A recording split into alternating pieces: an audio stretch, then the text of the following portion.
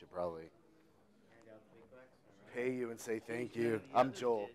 Hey, dude. Joel, nice to meet you guys. Do you want to give them to somebody and make yourself look good? All right. Especially to your boss, it's better. But do that. I'm Joel. Nice to meet you, man. There you go, David Joel. Nice to meet you. How you doing? Joel. Nice to meet you, Jamison. I'm gonna skip you. Did I give you money yet? No, never. No, come on now. I know I did. How you doing? Good to see you again, man. Good to see you again. I know I already gave you some, but this is different. Too bad it's like not my face on real money, because that would be awesome. How you doing? Good to see you, man. Thank you. Easy money. You just got to come in and smile. That's a little bit more of a corporate picture, I believe. With uh, yeah. Good sir. Thank you. Did I get you, Ken, as you walked in? You're welcome. Is that the boss? Perfect. no, I haven't talked yet. After I introduce myself, then you're more than welcome to leave. you have to hear that part.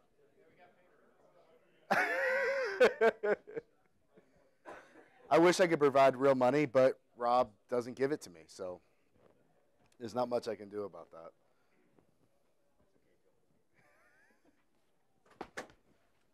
All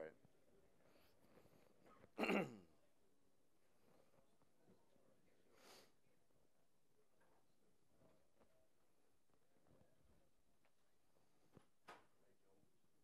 Am I good, Rob? All right, everyone. Well, thank you for coming in today. Uh, my name is Joel Carroll. Uh, I'm the business development manager for Atlona for the education markets.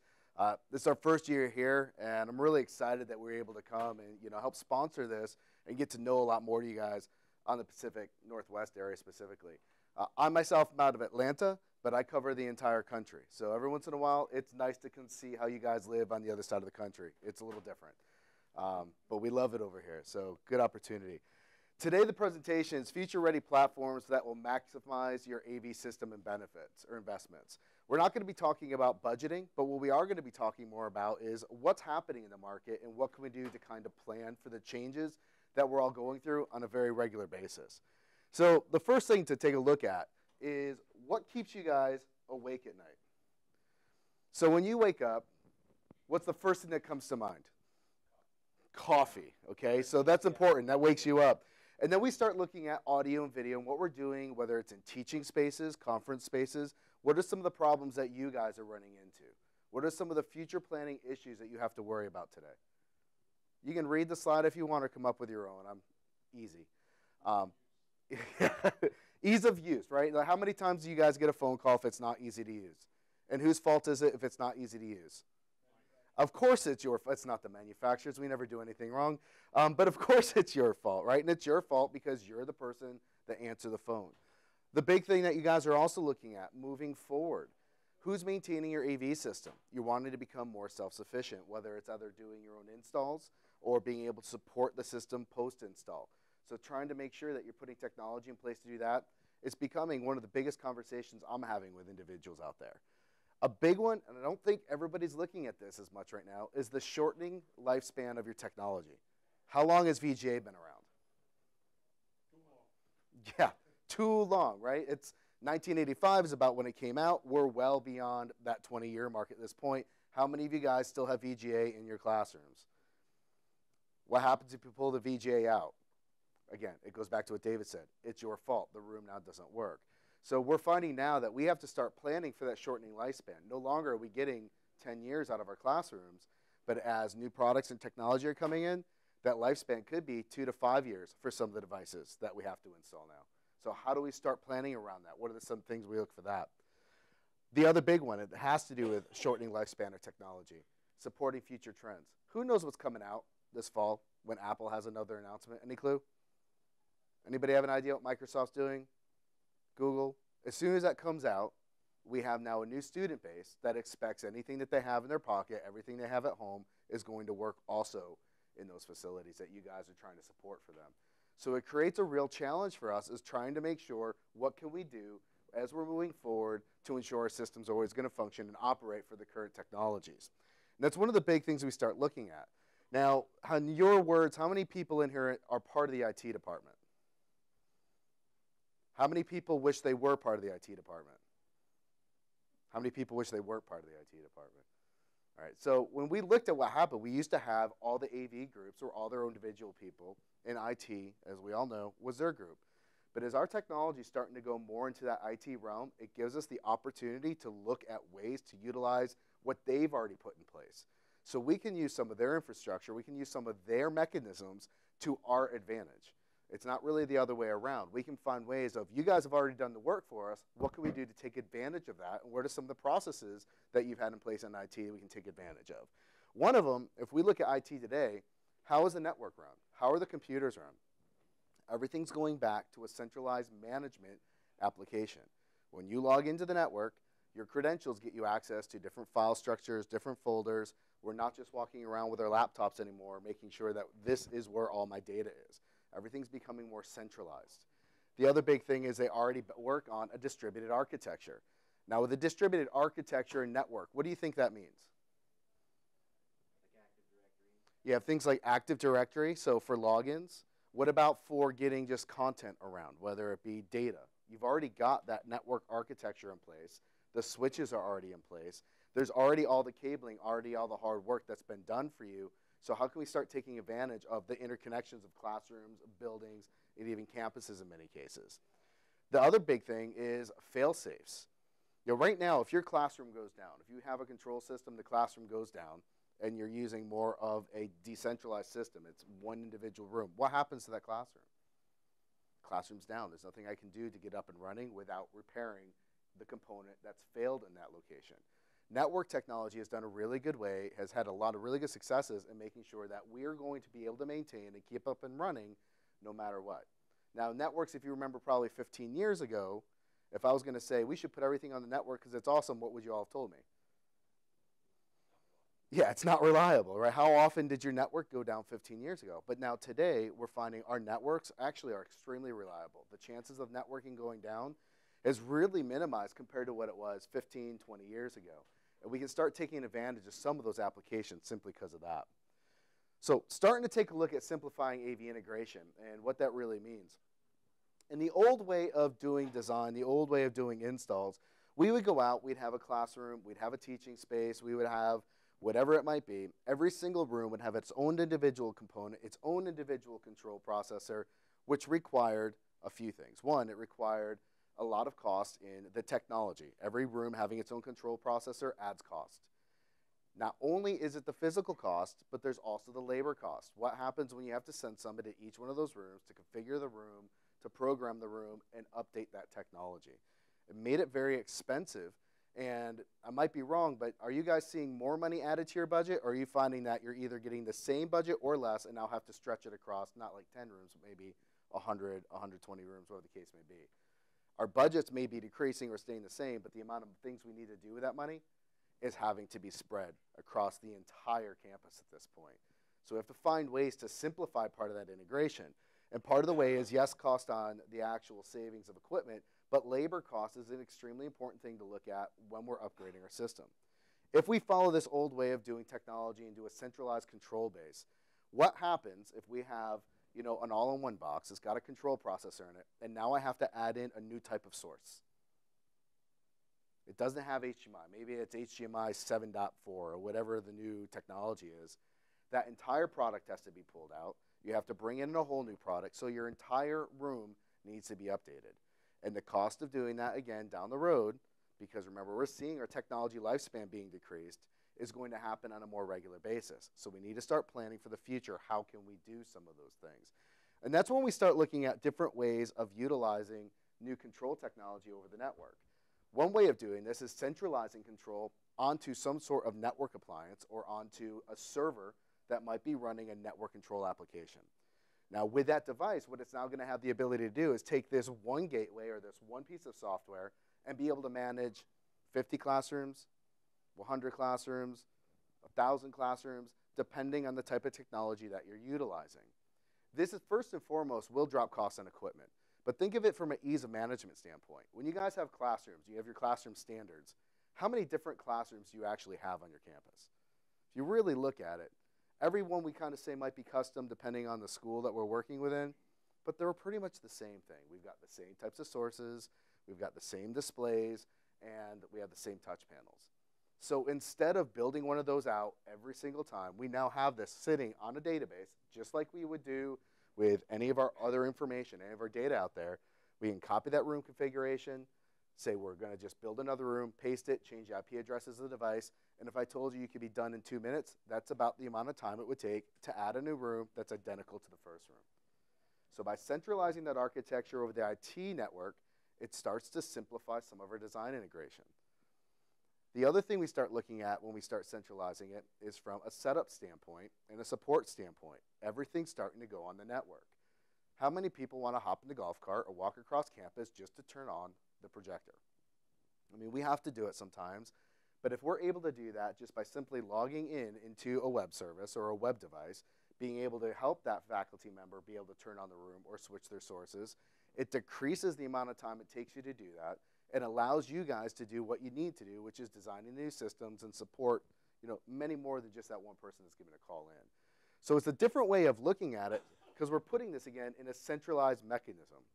So when you talk about this, we talk about centralizing control. We talk about taking, let's say, 50 classrooms and controlling 50 classrooms with one type of device, a server or appliance. What's the first thing you guys are going to be concerned about? All 50 rooms going down. Somebody, what, what's, I hear somebody say security? Security is one of the concerns I have, but the biggest concern I always have is that. And then the next one is, is security every time. So what happens if that box goes down? All 50 rooms go down. Okay, well, what happens if your network server goes down on campus?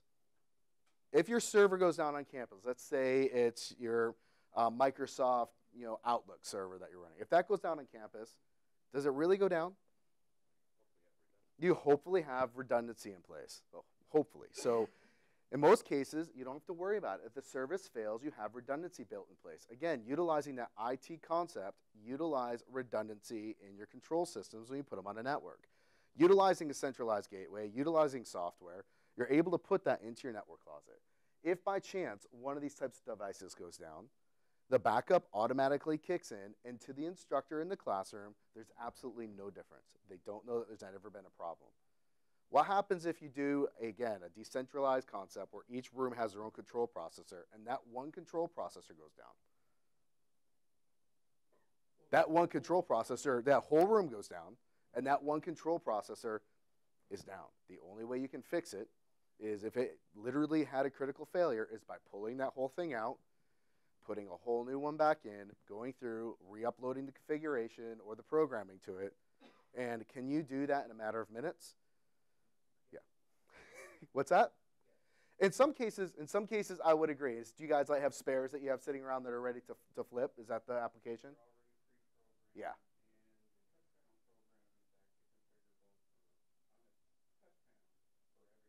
Mm-hmm.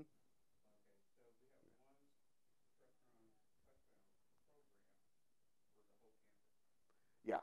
So, and actually, we can recall presets and everything else from the touch panel to reload. We actually timed it. Took us four and a half minute, minutes to change a full D, DMPS 300. And, and I've heard a lot of campuses starting to do that, which I think is a really unique concept. I've also had a lot of campuses also though tell me that the difficulty is is they aren't able to have stock left over.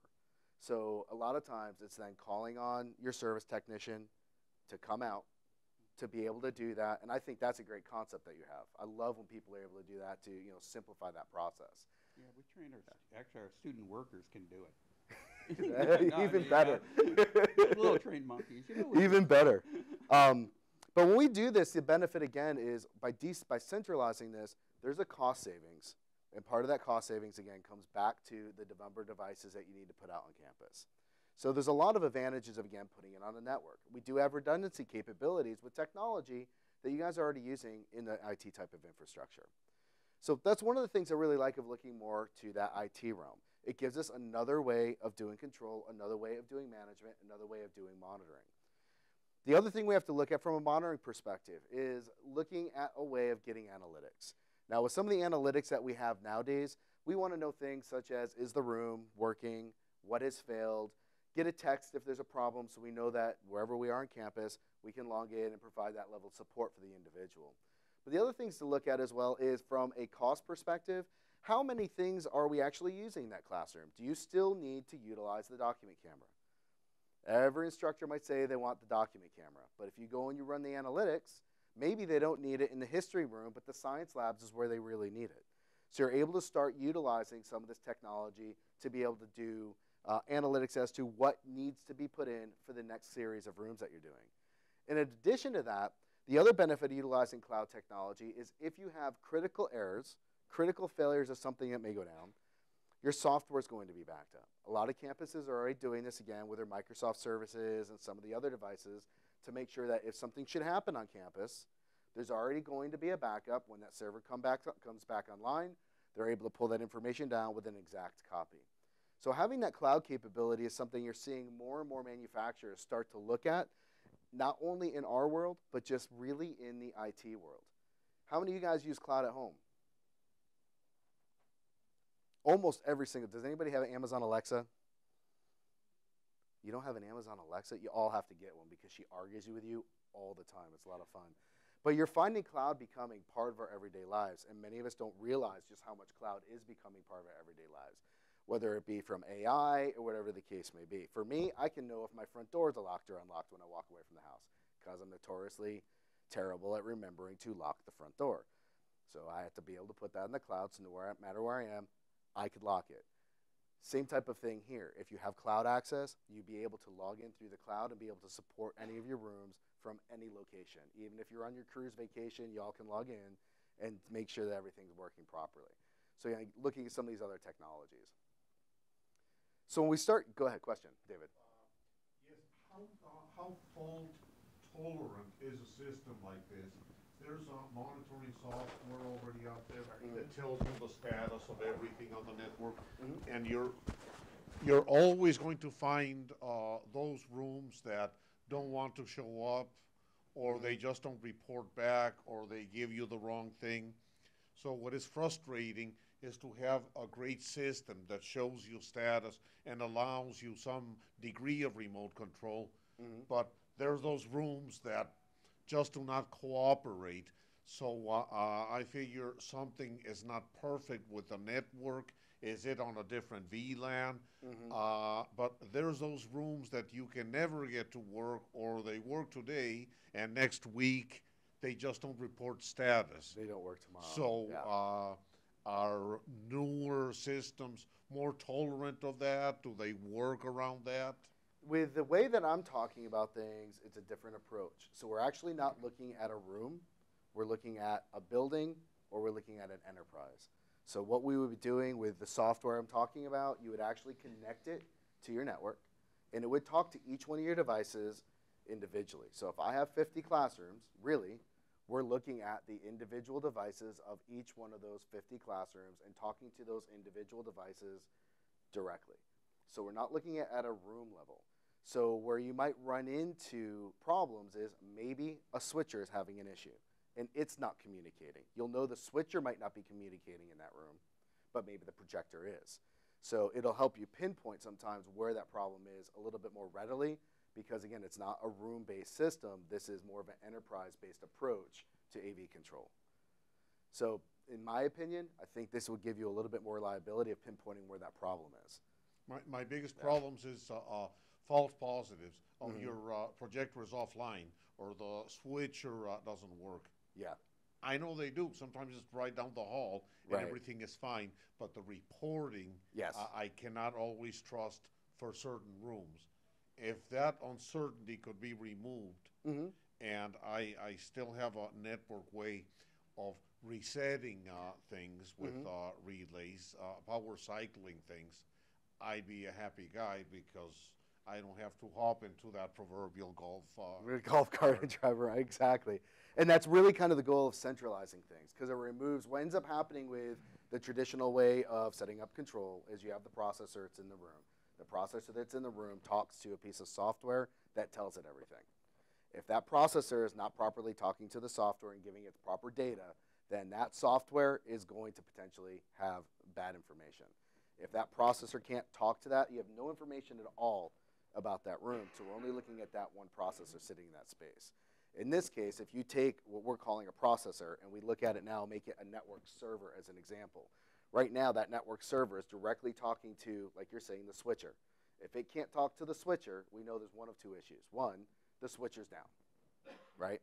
Or two, the network connection to that switcher, for some reason, has failed. But we know the projector's up in the room. And we can take that back from another troubleshooting step. If we put a network switch in the room, and we know that the projector is plugged into that network switch, and we know that the way your architecture was written, also, that switcher is plugged into the network switch. If we can see the projector but not the switcher, the switcher has a problem. It's not a network issue, most likely. So, depending on how you build out your architecture, more information is going to be available to you to help pinpoint and troubleshoot some of those applications. Wouldn't you have all the devices connecting to the switcher though, and the switcher just reports back to the processor, or is this?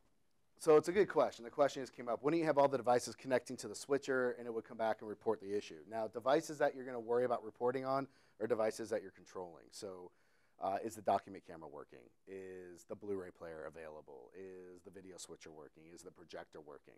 We're not worried if somebody brings in their laptop if it's working, but we are worried did they actually utilize the laptop? So you can track for that. So in a lot of cases, what you're doing is you're going more back to, I kind of call it going back to basics. We're going back to a modular approach where the switcher is not the processor and the amplifier and everything else that's in the room. And if we do follow the modular approach, that's okay. But the problem with the modular approach that I'm seeing is as our technology lifespan is shortening, we're starting to find that that switcher needs to be pulled out or updated more regularly, which means the entire classroom technology also has to be updated. So if I have my video switcher and I have my devices plugged into that, and then I've got my touch panel, it's all connecting separately back to a network device that's doing all the maintenance, monitoring, control. So it's a different approach. It's almost like the way we used to do it years ago. We'd have a control processor, you'd have a video switcher, you'd have your amplifier as separate devices. But modularity means it's easier to upgrade. At home, I can tell you that I don't use the technology in my TV anymore because it's too old. So to upgrade the technology in my TV, I have to buy a new Apple TV. In a couple years, I have to buy another new Apple TV or Chromebox or whatever the case it is. So when my kids come over, I want my stuff at the end of the day to just work. I don't want to think about it. I just want to know it's going to just work. So very good questions. So utilizing some of the other technology, since this is on a network, you're utilizing the power of the web. So at this point, utilizing web GUIs can be what you're doing configuration with, can be doing remote control capabilities, and also can be where you're getting your reporting. So again, looking at the power of what IT is currently doing for us, it gives us a lot of additional advantages uh, utilizing the, the network that's already there. Any questions about the control side of things? Does the architecture make sense of what I'm talking about from a control perspective? Because I know for a lot of us, it's a very different departure from what we're used to. So are you talking about basically everything being on the network and mm, like the entire building has like a decentralized matrix switcher essentially? So Well, that you're using the software to just control everything through the network? So instead of a document camera being plugged in through a switcher then to the projector, it's going through the network that then goes back to a server room that then goes back into the projector? It could be that. The question is so, what you're talking about is AV over IP, Yes. and what you're also talking about is a networked control system. So, a network control system could do what you're saying, where I'm talking to the devices, and I, I'll talk about that in a minute, where I'm taking those sources and routing. them. So I think them. I'm not understanding what you're getting to that how your solution would get rid of the switcher. We're not getting rid of the switcher. We are changing the type of switcher that we're using. So instead of using an all-in-one box, remember like a home theater in a box component. Mhm. And that's what a lot of the stuff that we do. It's a home theater in a box where it's got a control processor in the box. It's got an amplifier in the box. It's got the video switching in the box. What this would be is we still are connecting to the switchers in each individual room, the video switchers, the video components that we need to bring that signal up to the projector. So you still have some sort of a switcher device. We're removing the control from being in that space and now taking the control that has been living in that room and now putting it on the network. So now your network control device that's centralized to the campus is talking to the switcher in room 101, talking to the switcher in room 102 to do the switching of those video signals, to do the power on and off of the projector. So from a control perspective, that's one of doing it, yes. Just clarify, in that case, your, your literal signal from that switcher up to the projector is some in-house, we'll say HDBaseT or something like that. Exactly. It could be HDBaseT, it could be AV over IP, it could be an HDMI cable. It's just taking the control and, and centralizing it as opposed to putting it in each individual room. So you're doing a lot of the things that you're already used to by putting it in that location. Now, the nice thing about doing it this way is it's a step to make upgradability of that room again easier. Instead of having to pull out my entire switcher that's got the control and everything built into it, when that new Apple device comes out and everything has to now be HDCP 2.2, all I'm having to do is update the processor to tell it, this being the processor, to tell it, I just changed the switcher. That's it. It goes, okay, nothing else in the room's changed, the projector's the same, it now already knows how to talk to that new device. So we don't have to go through and reprogram everything else that's in that room if we're only upgrading segments. So instead of upgrading classrooms, we're upgrading portions of classrooms, portions of technology as we move forward. What you're really doing is adopting a platform. You have campuses that are Microsoft campuses, some of very few campuses that have a platform of only using Mac devices. You have campuses that use a Cisco platform or whatever the case may be.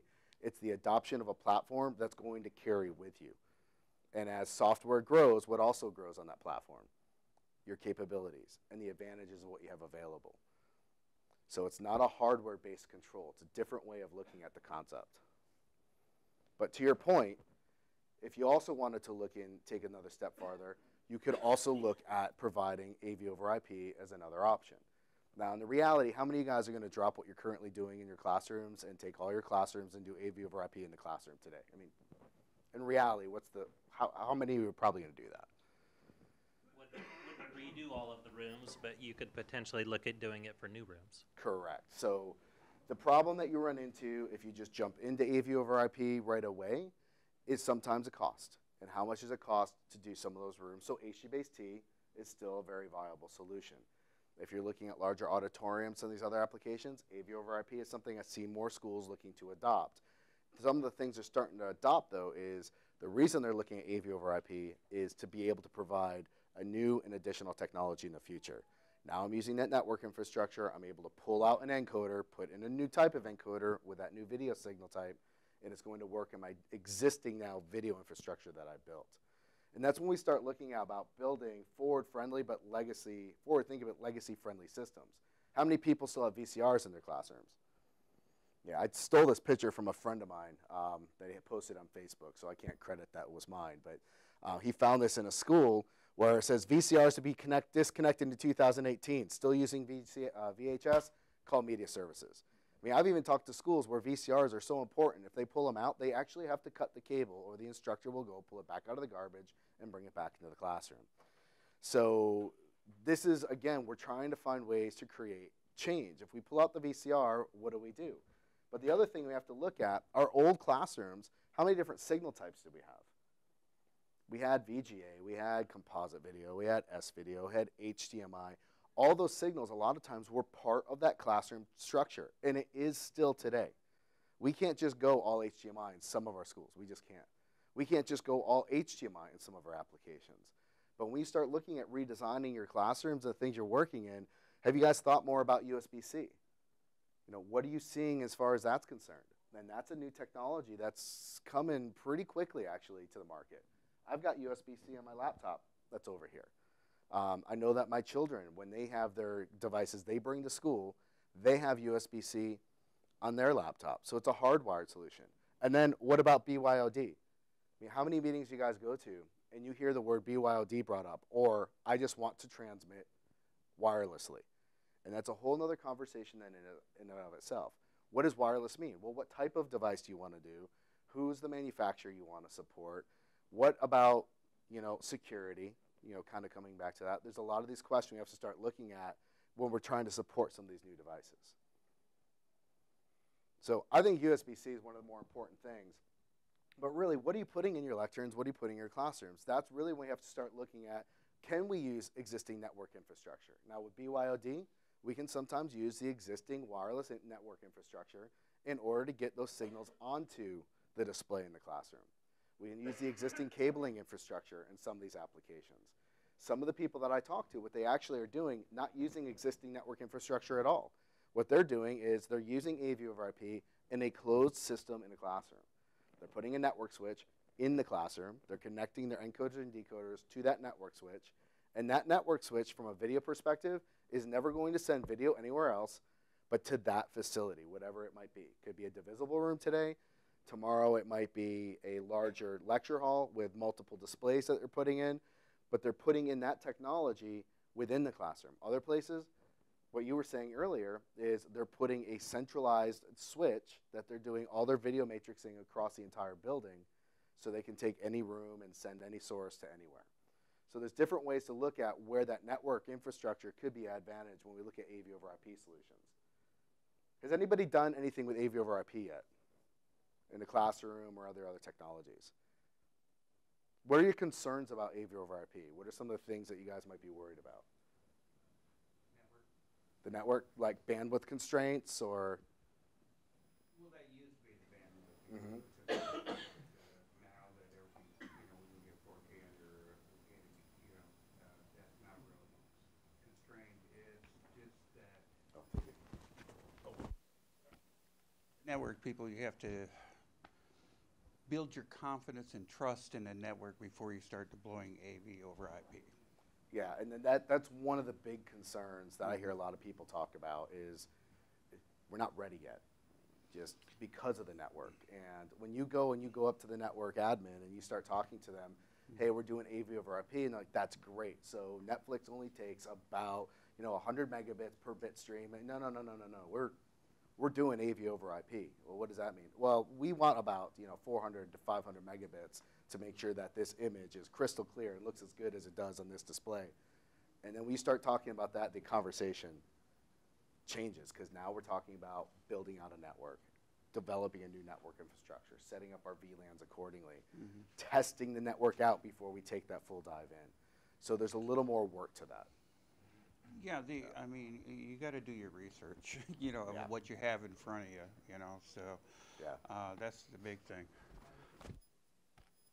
Yeah, I was on that same vein, uh, related, but much more simpler. You know, I've tried to implement uh, putting some Apple TVs in some places to give folks connectivity to their iOS devices. And, you know, behind the scenes, uh, I'm trying to think of the name of the protocol that Bonjour? Bonjour protocol, you know. uh, Can't talk to the network guys, not, we're not passing that. We're not passing Bonjour. Yeah, and yeah, then they so- lock it down. Yeah. Yeah, and I'm just wondering on, maybe you can, or you're gonna get to this, is, you know, what protocols, what things are gonna be happening, um, trying to implement this on a campus network? Well, let's talk. The question really is what protocols and what things are going to be happening in order to implement this on a campus network.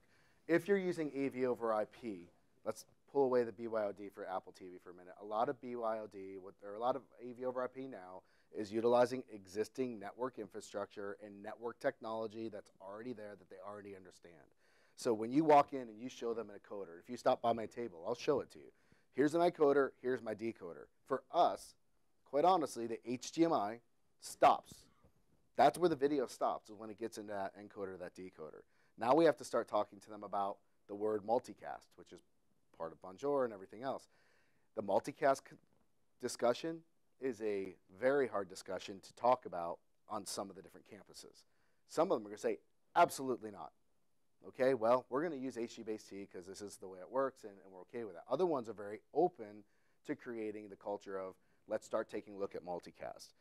Unfortunately, the battle that we run into as AV manufacturers and yourselves as specifying AV technology on campuses is we have to convince IT to change with us.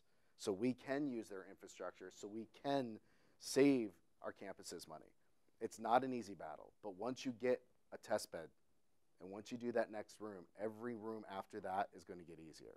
So that infrastructure and those changes, they're really just utilizing network standard protocols, and that's what we're doing with our AV over IP. So do you guys uh, have a white paper that we could probably give to our network guys to?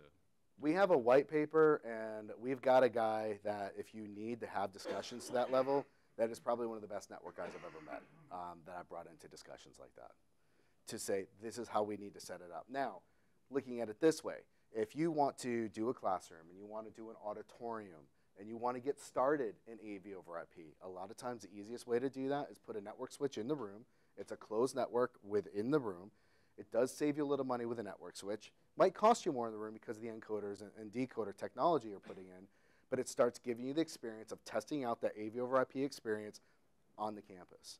And once you're able to do that, you can then bring the IT staff in. They don't care what you're doing, it's just not leaving the network or leave, leaving that one closed network. And you have that discussion. This is what we're doing. How can I now take this and apply this to the network that you guys are utilizing? And it helps them understand a little bit more what's going on. Part of the fear we might have is how do we set up network switches?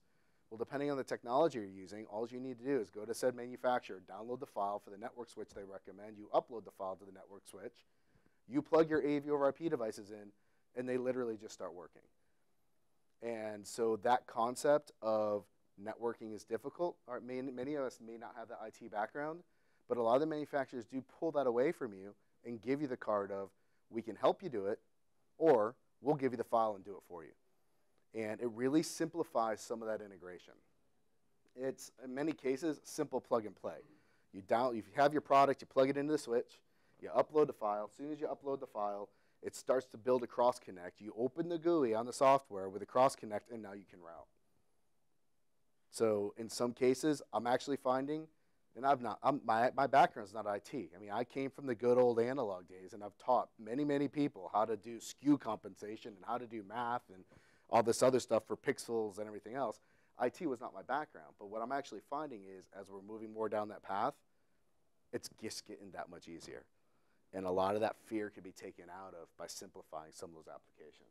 You know, here's an example of a room. If we look at a teaching space here, notice it's very modular in many cases. So I've got my network switch. Now, in my network switch application, everything's being routed for control, everything's being routed AV over IP through that network switch. The benefit of doing this is, let's say over here, down the road, I have a new, new encoder I need to put in. I need USB-C in this location you'd be able to pull out one component of your entire AV system, put a new component in, and everything else is still going to be up and running. So it's again taking the centralized approach that we have, at least for what we're doing, and spreading it across the network. Makes it a little bit easier for upgrades if we look at modularity in some of our applications.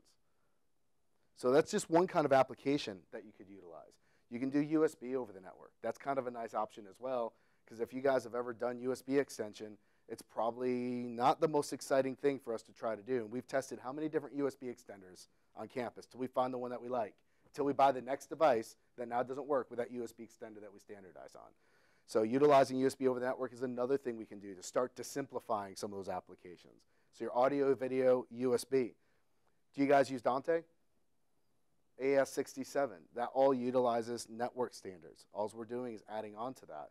And if you look at some of the products, our product will do it, we can actually take AES67 out of our encoders and dump it right into your DSP. So again, we're removing some of that back and forth of going from digital, coming out analog, then plugging into boxes, simplifying some of that architecture that's out there. Another application could be just multi-room distribution. If I need to take an individual signal and send it through the entire facility, I'd be able to easily do that with an AV over IP solution. Now this is where multicast is a benefit to us because I have a 450 megabit signal and I needed to go to 10 rooms. If I'm using multicast, how much bandwidth does that take on that network? 450 megabits. It's only one signal. It's going to all the, all the different endpoints. They're reading it. But if you look at some of the older technology and some of the unicast applications that were out there, it would be 450 megabits to one, 450 megabits to two, 450. It adds up very quickly. So we're now doing gigabits. Utilizing that multicast technology is what partly makes all of this possible. And again, that's conversations that we need to start having so we can make those plans in the future. You guys might not do AV over IP now, but starting to kind of softly talk to the IT staff of if we're going to start doing this, what would it require? Can we get something in? Can we test it on your network? What do you guys feel about that? Well, one thing that, that we've had success with as far as multicast is that they're already interested for doing um, mirroring. Mhm. So they're probably already interested, or maybe even already have multicast set up to be able to do a lab of 30 computers at the same time Mhm. using multicast. That's cool. Yeah, and you're, you're finding people become a little more willing to, to try these things out. I mean, again, five years ago, if I said the word a multicast on a campus, I would almost be handcuffed and walked out if I talked to the IT staff. That was not something they were going to talk about. But because of the technology, it's available. And a lot of this technology has been driven from what we're even doing in the home space. Any questions about anything else from the network perspective, what we're going to be doing with control or AV over IP? I'm not a network expert, but make sure I understand. So when you say multicast, you're talking multicast beyond a subnet. Is that where they, or, or beyond a router? when you look at multicast, there's two different ways of doing streaming, really. There's unicast, which mm-hmm. if I'm talking to you directly, you're the only one that hears me. When I need to talk to him, he's the only one that hears me. So if I'm sending you one megabit of data, I'm sending him two megabits of data or one megabit of data. That's a total of two megabits on the network. Right now, I'm multicasting to all of you. I'm talking to you in the audience. All of you can hear me individually. You're all hearing that same one megabit stream that I'm sending out to you. So it's a different protocol. It's a different way of getting data to the endpoints. Does that explain? It, does, and I, and I had that understanding, but I, I, I thought there are currently protocols using multicast, but they're not allowed to go beyond, you know, they're, they're main, maintained within a subnet, they don't go beyond the There are protocols that use multicast that are maintained within VLANs and subnets, but utilizing different technology on the network, we have the ability of starting to span routers and switches. One of those is called IGMP. And that's where the network guys get And out. that's where the network guys get worried because the historically multicast means I flood the network. Mhm. That's not what multicast means if properly set up Okay. today. If not properly set up, you're still going to flood the network. So it's just a matter of having those network discussions. Any other questions about control, about AV over IP? Want to hear a couple options that we have that we could help you out with? I paid you all, so you have to listen to me. Um, we do have a few solutions if you're not familiar um, with Atlona. Uh, Atlona is one of these companies that we do things just a little bit different. We try to disrupt the status quo, what everybody's done in the market space. And that's what we're doing when we start to look at control. Looking at that centralized control nature I'm talking about, that's Velocity. And Velocity is a product that we introduced where this is my actual gateway that can sit on a network. Now, this gateway can support up to 250 devices. We're not looking at rooms, we're looking at numbers of devices.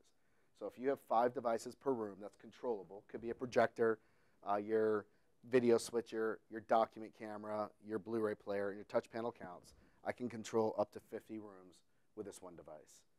If you want to do more at enterprise level, you would then work with a software that would run a virtual machine you would provide. That now can support up to 2,500 or 5,000 devices. So again, it's taking more of that network-centric approach of putting everything up on the network. So it's kind of an interesting concept. When you start working with this, I can build a room in about 10 minutes. And if I need to make a change to the display because the display failed, I can change the display in less than a minute. And as soon as I make the change here, it's instantaneous to that room. Doesn't affect any of the rooms, but the room I'm working on, it's instantaneous to that specific room. So it helps cut down on some of that time. It helps cut down on some of the training that you might need because of the way that the system's operating. We do support legacy devices. It's important to be able to support legacy control, IR, RS-232, and my favorite relays. And I know it may sound funny that relays my favorite, but we have all done some really awesome stuff with relays and digital switches over the years, especially if you've been in the industry for a while. Uh, but we have the capability of also controlling many of those legacy devices that are on the market. Um, so I encourage you to take a look at some of the things that we have from that standpoint. BYOD, uh, we've got a product that we're doing a demonstration with today, and I call this software-free BYOD. This is a product I think is very interesting in the market, and the reason being, more so than anything, it's got a switcher built into it. One of the inputs is USB-C. So I've got a USB-C input that can work with the new Lenovo's and the Macs, the other devices that are coming out. It's a five input, two output matrix. One output's HDMI, the other output is HDBaseT. From the BYOD perspective, reason why it's software free is I can take my phone and cast directly to it. I could take my Chromecast device and cast directly to it, and I can also cast directly to it using Miracast. So if I know how to use my own personal device when I bring it into the facility, I now have the capability of sending that content wirelessly to this product directly. And so it's just, again, a different way of looking at things. I don't have to have an app. And our refresh rate is a lot faster with that technology because we don't have to go through an app and then send the information. And then lastly, from the AV over IP perspective, we do have a market that we've been put, we put it out over a year ago now. It's two years ago this year at InfoComm where we introduced our AV over IP solution to the market. Uh, one of the main things I really enjoy about our AV over IP solution is we've got dual channel encoders and dual channel decoders.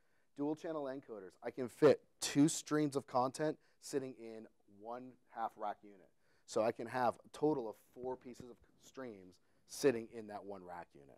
A lot of the other devices you look at, it might only have one stream it could send out. So it's like a matrix we are talking about earlier. If I'm looking at a large matrix, say a 32 by 32, but I only use 32 in and like eight outs, I would have the ability of building simple asymmetrical matrices, having all my encoders and decoders maybe mounted in the rack throughout the facility. So I'm not going all the way back to that main location anymore. We're using that network fabric for, to be the rack. So any questions about any of the stuff we covered today? I don't want to talk about product, product, product. I really want to talk more about the content, but I want to make sure you understand what we can do to support some of that. Any concerns? Yeah. Just curious on your um, network-based centralized uh, controller, if you will. Mm-hmm. Um, are you guys trying to steer the customer to utilizing a you know a GUI for the control, or sticking with their touch panels and so? We do have touch panels for our control, so it's a good question. I have an eight-inch touch panel. I've got a five and a half inch touch panel, and then you can also use BYOD devices such as apps, or you could use a GUI. So we give you multi ways of doing it. Our touch panels are pretty cool because they're PoE powered. You plug them into the wall and they're done. And the nice thing is if I make a change to my touch panel by hitting the web GUI in order to change the name on a button, somebody doesn't like the name and so they're not going to call it Joel's button. As soon as I type in the word Joel's button, save, it changes the touch panel instantaneously. Doesn't matter if it's sitting right next to me or if it's on the other side of campus. So changes are very easy to make. Any other questions? Now, if you guys want, we do have a training program that's available. It talks about audio and video in general, but it also talks about other things, such as the how to set up AV over IP. We've got a really good class about that. We've also got a class that talks about our network control. Um, I can definitely give you my email address, but there's a code you need to use. The important thing to write down is the code VIP in caps access. It actually gives you access to part of our EdTech VIP training program. The EdTech VIP program also gives you access to what education pricing is, and you can also register for some other additional information. And so please feel free to take a picture. If you want me to smile real quick, I can do that for you guys as well.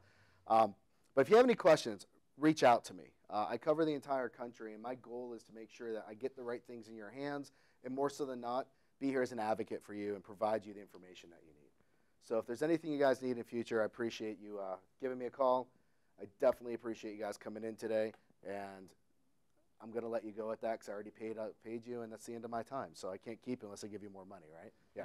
Happy B-Day, buddy. Oh, thank you very much. I appreciate it. I turn 21 tomorrow, so if y'all want to, yeah. thank you. I appreciate it.